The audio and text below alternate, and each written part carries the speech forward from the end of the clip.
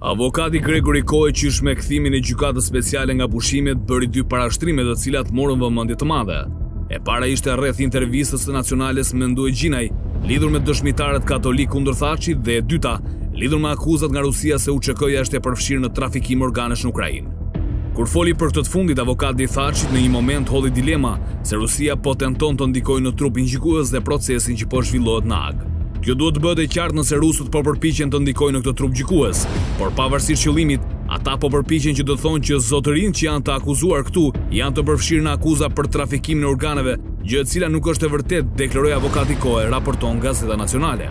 Janë disa artikuj të Maria Zaharovës që janë ruajtur në median evropiane, duke thënë se një prijës është përfshirë në trafikim organesh në këtë proces gjyqësor. Kjo është false. Këto media janë paragjykuese ndaj të akuzuarve.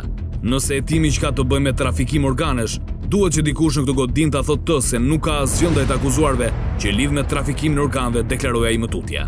Por çfarë deklaroi Rusia? Zëdhënësja e Ministrisë së Punëve të Jashtme të Rusisë, Maria Zaharova ka bërë një pretendim absurd.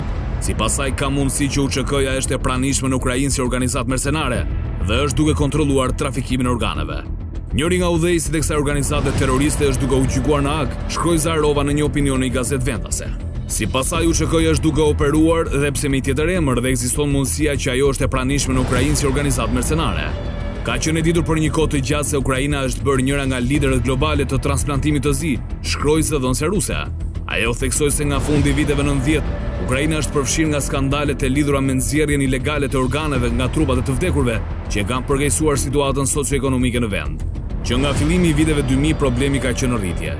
Puçi i armatosur në Kiev në shkurt të vitit 2014 dhe konflikti pasues në Donbas ofruan një nxitje shtesë për këtë proces, shkruan ajo. Sipas Zaharovës në vitin 2014 OSBE-ja kishte njoftuar se trupa me organe të hequra ishin gjetur në varre masive në zonat e luftimeve, sipas të gjitha gjasave viktima të transplantimit ilegal të organeve. Ajo shtoi se pas fillimit të operacionit special ushtarak siç e quan Rusia luftën në Ukrainë, tregu i zi i organeve është intensifikuar dhe se i tërë procesi u bë më i lehtë. pasi pushteti në Ukrainë miratoi një ligj për aktivitetet e transplantimit.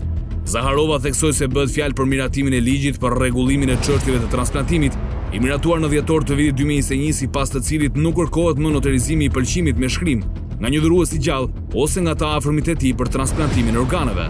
Nënshkrimet nuk kanë nevojë më që të noterizohen. Në thelb ata lejuan që organet të merren nga fëmijët. Procedura e marrjes së organeve nga të vdekurit, të cilët nuk e kishin dhënë pëlqimin për të qenë dhurues pas vdekjes, është thjeshtuar në masë të konsiderueshme, pretendoi Zarova. Tani leja për të marrë organe nga një person i vdekur mund të sigurohet nga një individ që është zotuar për të varrosur trupin. Për shembull, mund të jetë kryemjeku i spitalit ose udhëheqësi i një njësie ushtarake, dhe e drejta për të kryer transplantime u është dhënë jo vetëm shtetit, por edhe klinikave private, e vazhdoi pretendimin e saj zyrtarja ruse.